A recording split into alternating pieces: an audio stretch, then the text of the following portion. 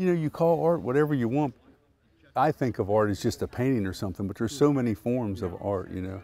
Seeing a vision and putting it together, that's pretty impressive.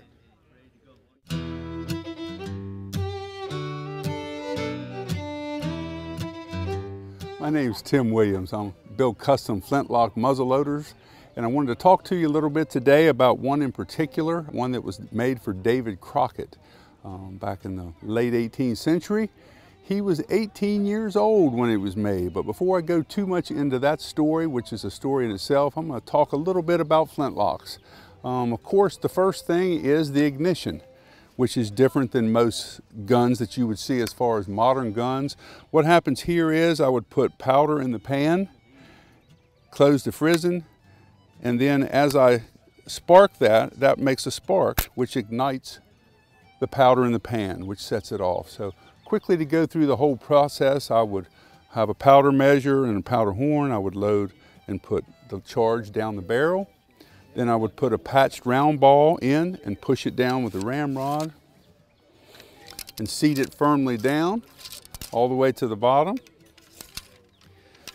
Then I would turn it back up, cock the hammer, put the powder in the pan, close it, and then when I go to shoot, and then the spark would set the powder pan off. So that's basically a simple way that the, the flintlock works. Very effective, very efficient and it works very well actually. So what I'm going to talk about now a little bit is actually this particular rifle which is patterned after the original rifle that Davy Crockett had when he was probably 18 years old. He, um, I actually was fortunate enough to handle the original. It's in the East Tennessee Museum in uh, Knoxville, Tennessee. Was gracious enough to allow me the opportunity to handle it and to measure it and so forth like that. So with that being said, I feel accurate in my reproduction of this gun, as close as I could make it to the original. The patch box is made just like it was in the 18th century from sheet brass. Sometimes they cast the, the lids, but this one in particular was sheet brass. The opener is right here. It opens up and then opens up into a, a hand-cut cavity. The hinge is made the same way. You just roll the metal around, the different things like that. Then you cut out the hinges the actual knuckles themselves for that. Then everything's fastened the same. The engraving's done with a hand engraver, just like they would have used in the 18th century. Nice piece of curly maple wood was the, the foundation for it all. Hard stock, which was a very durable stock.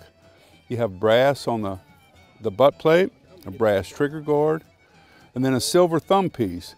Now, a lot of times the silver thumb pieces were engraved with uh, sometimes the owner's initials. Sometimes the maker would sign it with his initials there.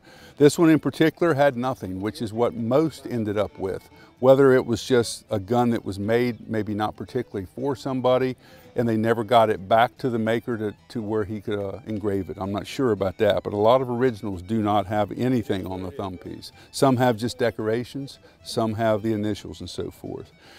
When you move down through, you've got a lock that's, that's this one in particular is not handmade, but they were then. But this one is modified and hand tuned by myself to where everything will work because the most important thing with a flintlock is lock time, is the quickness that the lock goes off, the smoothness. So those are the important features. Then as you can see, function is the most important thing with a rifle because your life depended on it, whether you're eating or defending yourself. But Nobody said function had to be ugly either, so a lot of times they were decorated well. This is a prime example of that with the York County, with the carving around here, which is very common for York County. The top piece here is very similar around the tang carving. It's very similar to what George Schroyer used, a little variation to that. Then when we come over to this side, you can see the carving on this side York County style, but very unique in its own. No one knows the maker of this particular gun, but it was definitely a York County. You can tell by the architecture and the style of it. But this is the carving pattern that comes through, all hand cut and cut out with a, a knife and carving chisels and so forth. Side plate also made out of a piece of sheet brass. This one in particular has double set triggers. The thing with a double set trigger is you set the rear trigger and what that does is make the front trigger very much like a hair trigger. This rifle also has wedge keys, which is an easier way that you can push that out. That retains the barrel. There's a tenon inside that holds, the wedge key goes through and that keeps the barrel attached to the stock. And there's not much stock here. When you take the wood out of a, a firearm like this, it's a little bit of a scary proposition because it's very thin. The only purpose really of this wood was to hold the thimbles. I mean, that was basically it. So it's very thin. You work your way down through here. The thimbles are handmade just like they were in the 18th century, once again out of sheet brass. They come around, a little bit of engraving here, faceted out. They start their life round and then they, you shape them to the, the octagon shape. You work your way down to the nose cap and the same thing. You shape the entire stock, then the nose cap forms to the shape of the stock and you inlet it. Very much the same way that they would have done it in the 18th century. Everybody had their own technique, their own trick. This one in particular has a, a horn tip ramrod on it. That was a very common feature, more common in Europe, I think, than here. The main reason that I do it now is because it's impervious to everything, it seems like. It doesn't tear, it doesn't fray, it doesn't damage from, from years and years of use. So uh, I put the, the horn tip on there. This barrel in particular is a 44 inch swamp barrel. The swamp barrel was very common in the 18th century as well as now.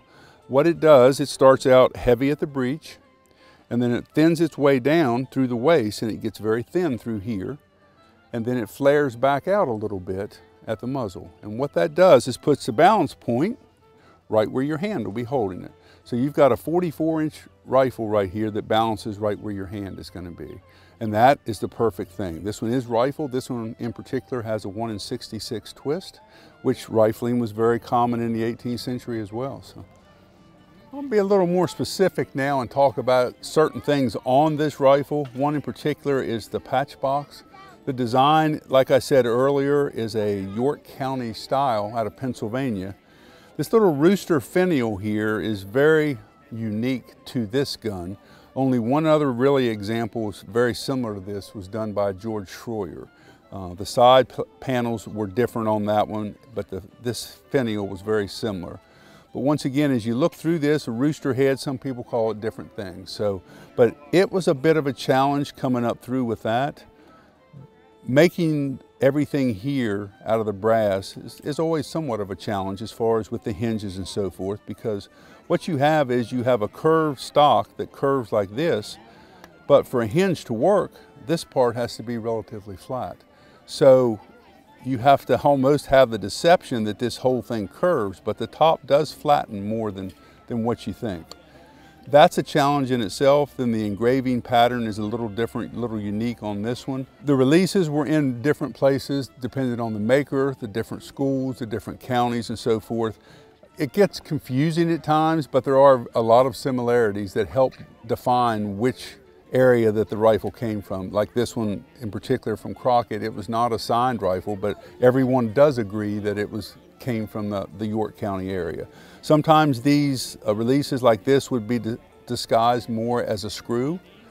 Um, actually, Simon Lauck and the Sheets brothers down in, in um, Virginia sometimes, one was you push this hinge and the hinge actually released it so you couldn't find it you know? So there's a lot of things i think some of the makers tried to disguise the release so that nobody could find it almost. All of the mechanisms in here there's a catch that bends around.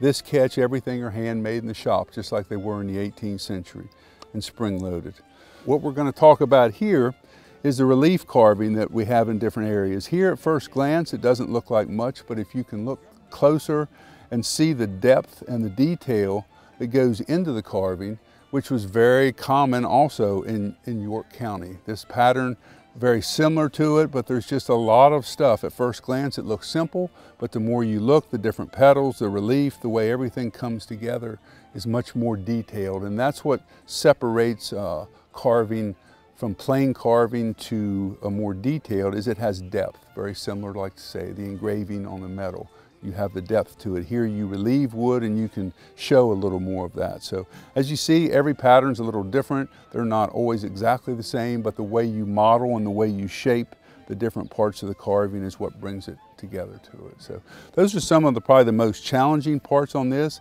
As you can see also, this is a very good piece of curly maple with a lot of curl. That presents many challenges in its, of its own when you're carving. You'll start to carve a certain way and relieve it, then you have to stop and come back the other way. The grain changes constantly. So you have to go at it slow, easy, and that's where the hand tools, you don't lose anything. A good sharp hand chisel can relieve wood pretty quickly. So the, as pretty as the, the curl is to look at, it's just as difficult to work with. But I think when it's all finished, the end result gives a very nice and appealing look to it. Plus, once again, with the curly maple, it's very strong and durable.